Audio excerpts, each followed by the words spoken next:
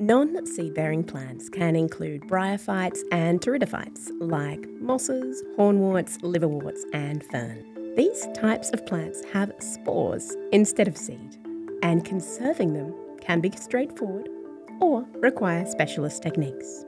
In this video, Tom North from the Australian National Botanic Gardens, Canberra, shares their techniques for conserving fern spores.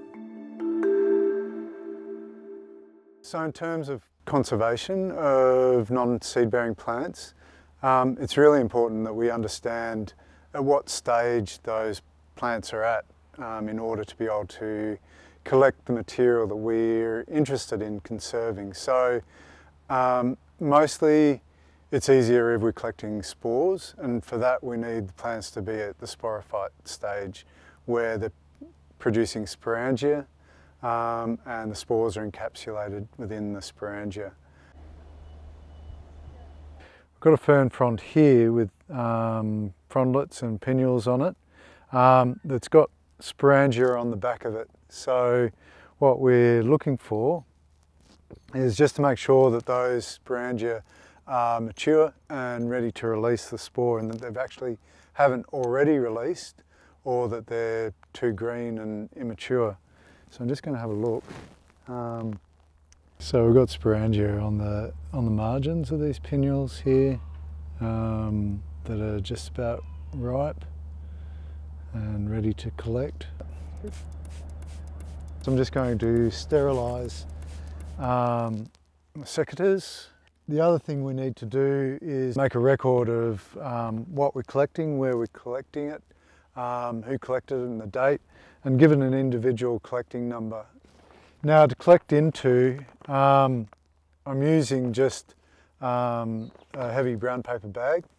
Um, we wouldn't use plastic because um, of the risk of building up static and trying to get spore out of that, but also the risk of um, uh, cultivating mould um, on the spores or the fronds um, that we've collected. We're just going to collect the frondlets.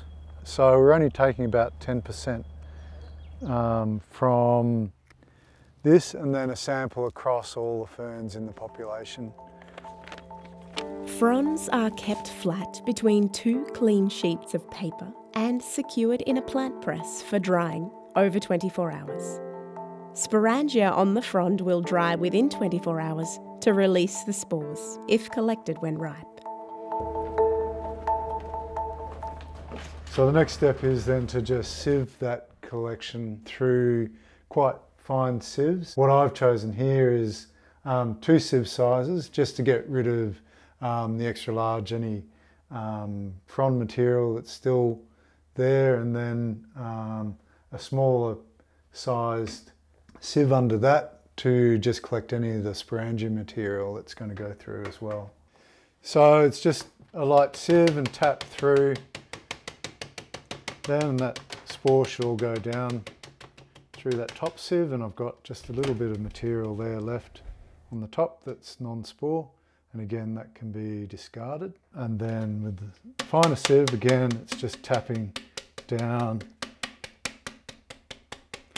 And then checking as well um, under your um, Maggie lamp or microscope just to check that what is left in that sieve is um, the sporangia material debris um, and not actually spore. And your spore should all be in your lower or collection tray at the base there.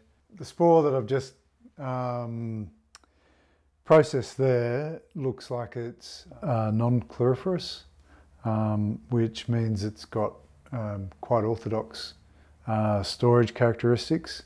Um, we'll dry that at uh, between 10 25% relative humidity uh, so you've got a couple of options there in terms of storage. Um, probably preferred method is um, to go into a glassine um, envelope um, where the seed can dry down, the spore can dry down um, to appropriate level. But at the moment, I'll transfer this into a glass vial to go into our dry room for a couple of days to desiccate to appropriate levels. So just to do that, um, and just tap that into, so,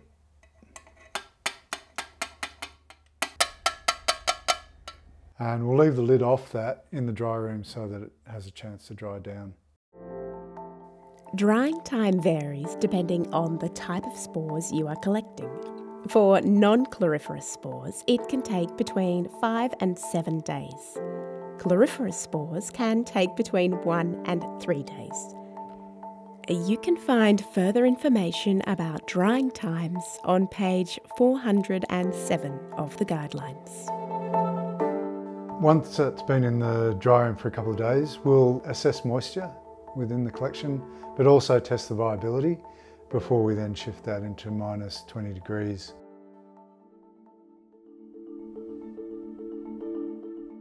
All the information about collection and conservation of spores is included in Chapter 13 of the Guidelines, which can be downloaded for free.